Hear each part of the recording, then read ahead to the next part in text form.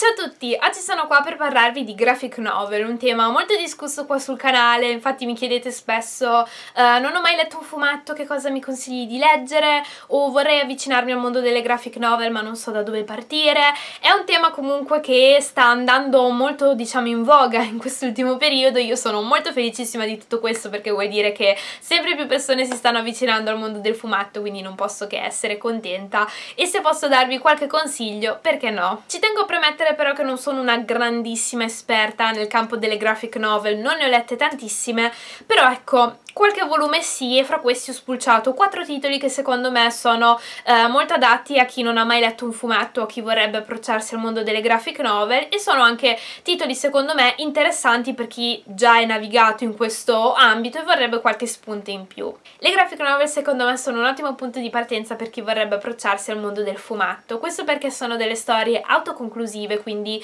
eh, non avete necessità di comprare altri volumi oltre a quello che avete in mano e soprattutto hanno una struttura che ricorda molto quella di un romanzo, si chiamano appunto romanzi grafici per questo motivo. Narrano una storia non solo attraverso le parole scritte ma anche attraverso immagini e disegni. Spesso le persone sono un po' resti a comprare le graphic novel perché hanno un prezzo uh, di copertina più alto rispetto a un libro, a un romanzo, generalmente sono tra i 20 e i 25 euro, alcune costano di più, altre di meno, però mediamente costano di più rispetto a un romanzo, c'è da dire però che sono delle cose completamente differenti. Come vi ho detto sono delle storie comunque autoconclusive e eh, molte di queste valgono ogni centesimo speso e investito proprio per l'alto valore artistico che hanno. Direi di partire con un fumetto che può piacere veramente a tante persone differenti, soprattutto ai miei coetanei, quindi fasce di età fra i 20 eh, e i 30 anni perché ci si può rivedere magari magari un pochettino di più rispetto um, alle generazioni più giovani, sto parlando di Zero Calcare, in particolare della Profezia dell'Armadillo che è la sua prima pubblicazione.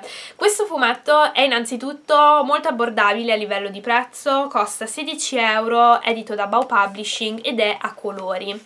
Uh, so che molte persone non si sono ancora avvicinate a quest'autore per via dei disegni che magari non sono bellissimi paragonati a quelli di altri autori, però secondo me uh, sono dei, dei disegni che si adattano molto bene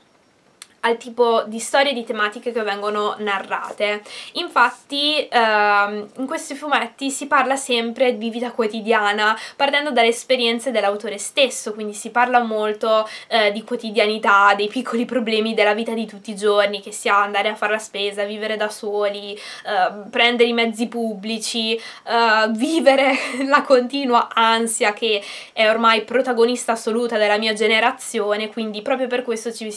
ci si può rivedere tanto uh, nelle storie che racconta questo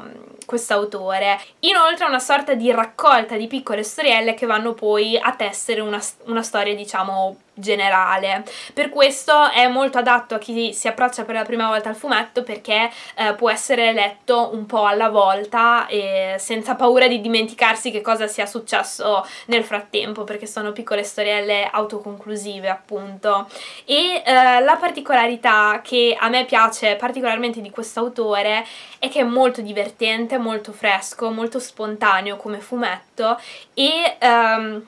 rappresenta un po' le problematiche, le ansie, le emozioni attraverso dei personaggi che provengono ad esempio da serie tv, film, altri fumetti, eh, videogiochi, sono tutti personaggi che conosciamo, abbiamo visto in un modo o nell'altro quindi è anche divertente rivederli in, in questa chiave un pochettino più eh, divertente e a volte satirica. Un altro fumetto secondo me ottimo per partire ma che purtroppo non sento nominare spesso è In Real Life di Cory Doctorow e Jen Wang. Anche questo fumetto ha un prezzo abbordabile, 18,50€ edito da Edizioni BD ed è un fumetto uh, che parla molto di videogiochi, realtà virtuale, dell'essere un'altra persona online, uh, ma parla anche di economia per dirvi, quindi ci sono tanti temi, anche in questo caso, quotidiani in cui ci si può rivedere veramente tanto. La protagonista di questa storia, Anda, mi è piaciuta veramente tanto perché è una ragazza uh, genuina,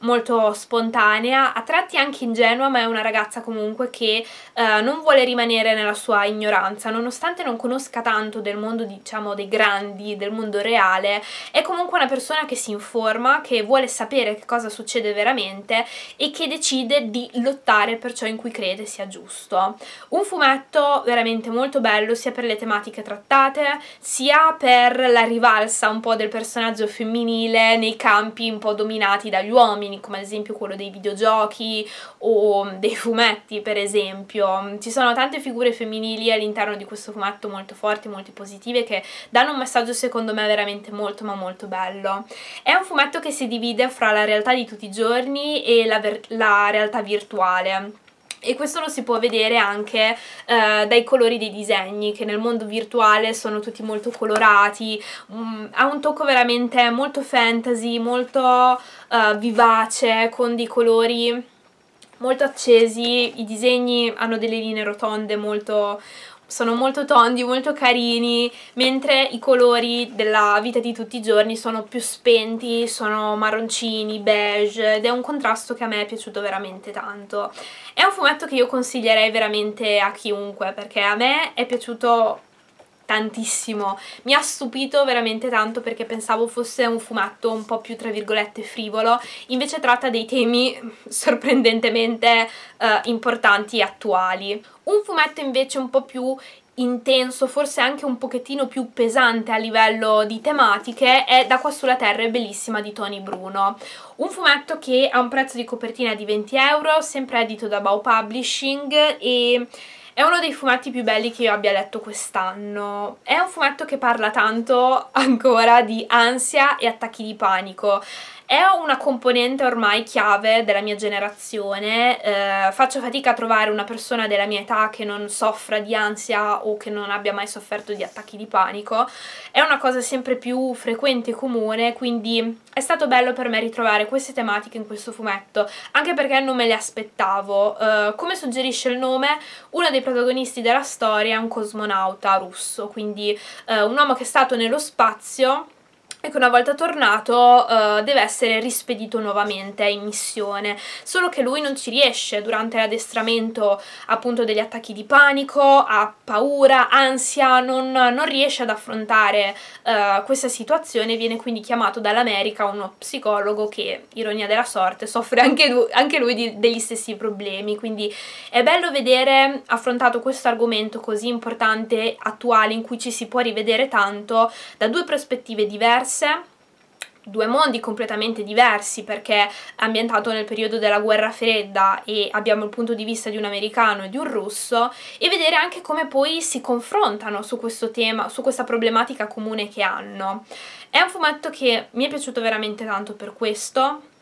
non dà una risoluzione al problema ma dà sicuramente tanto conforto. I disegni di questo fumetto a me sono piaciuti veramente tantissimo, uh, la carta è quasi giallognola, un po' vintage, mi è piaciuto veramente tanto perché aiuta ad entrare un po' nel mood della storia secondo me. E vengono utilizzati dei colori abbastanza opachi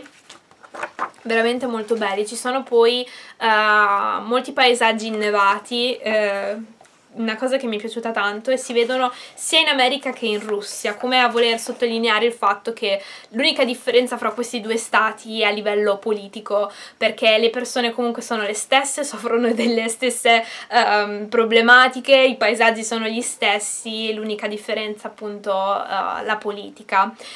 Un fumetto che io vi straconsiglio, sia che non abbiate mai letto nulla, sia che eh, abbiate già letto dei fumetti ma state cercando qualcosa di nuovo. Per ultimo ho tenuto una chicca che è secondo me il fumetto per eccellenza da cui partire se non avete mai letto nulla del genere. Mi rendo conto che sia un po' più impegnativo sia a livello di spesa che a livello di tematiche, ma è uno di quei fumetti che secondo me ti cambia la vita, nel senso cambia il tuo modo di rapportarti al genere del fumetto, in parte anche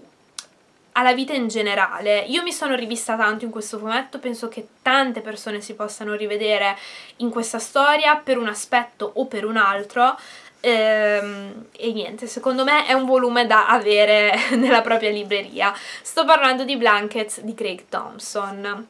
Questo volume costa 29 euro ed è edito da Rizzoli Lizard.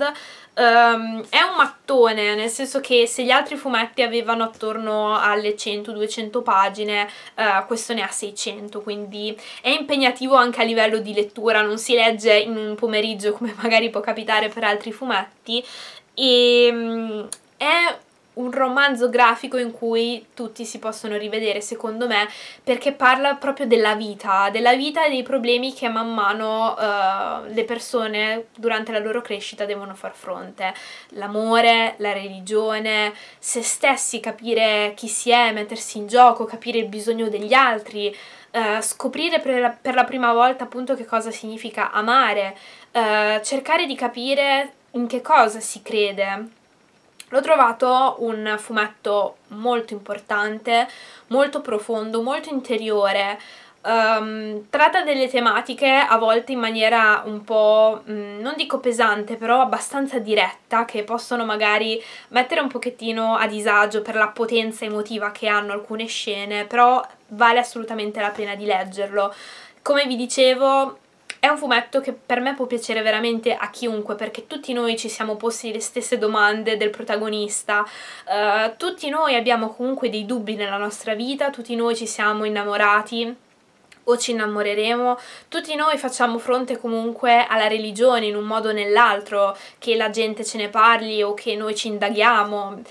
È un fumetto veramente completo sotto questo punto di vista che parla di crescita, di formazione e di vita principalmente. I disegni di questo fumetto mi piacciono veramente tanto perché sono abbastanza semplici e da una parte per nulla Uh, c'è veramente una cura nei dettagli, nella composizione delle tavole che mi ha lasciato molto sbalordita. Penso che i disegni siano molto espressivi, uh, non tanto i visi dei personaggi quanto le mani che sono veramente molto dettagliate, molto, molto particolareggiate. È un dettaglio a cui ho fatto caso in diverse scene e che mi ha colpito veramente tanto. Ci sono molti paesaggi innevati, quindi è un fumetto molto piacevole da leggere anche in questo periodo dell'anno. Um, in generale sempre, è una storia che secondo me si potrebbe leggere tranquillamente sempre e che consiglio per questo veramente a tutti, secondo me non vi pentirete della, della spesa fatta per comprare questo, questo fumetto. Queste sono quindi le graphic novel che vi consiglio per iniziare ad approcciarvi a questo mondo o in generale che vi consiglio di leggere perché sono opere che secondo me possono piacere a diversi tipi di persone, come avete visto hanno anche prezzi differenti, tematiche differenti però comunque attuali in cui ci si può rivedere tanto, quindi straconsigliate tutte, io personalmente le ho amate, tanto che ho fatto la recensione quasi di tutte, quindi eventualmente ve le lascerò nelle schede qua sotto in descrizione. Fatemi sapere che cosa ne pensate di questo video e se vi piacerebbe una serie dedicata alle graphic novel in cui vi consiglio di volta in volta dei titoli appunto autoconclusivi sia per iniziare che per chi ehm, legge già fumetti ma sta cercando qualcosa di nuovo, di diverso. Io personalmente amo i fumetti, leggo tanti tipi differenti di fumetti quindi mi piacerebbe condividere con voi uh, la mia esperienza e qualche titolo che magari mi ha colpito particolarmente. Spero che questo video vi sia piaciuto e soprattutto che sia stato utile in qualche modo. Io vi saluto e ci vediamo alla prossima. Ciao!